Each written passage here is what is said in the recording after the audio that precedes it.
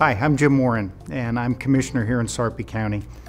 I'd like to congratulate the Holiday Inn Express and Suites in Gretna for winning the 2023 OMA Tourism Award for the best hotel in Sarpy County. Hi, I'm Fred Uhe, Director of Tourism with Sarpy County. I'm here with Carol Leeper at the Holiday Inn Express and Suites in Gretna, Nebraska. The Holiday Inn Express was the winner of the 2023 OMA Tourism Awards for the best hotel in Sarpy County. Carol, congratulations. On behalf of the team here at the Holiday Inn Express and Suites here in Gretna, we'd like to thank the voters of Sarpy County for this great award.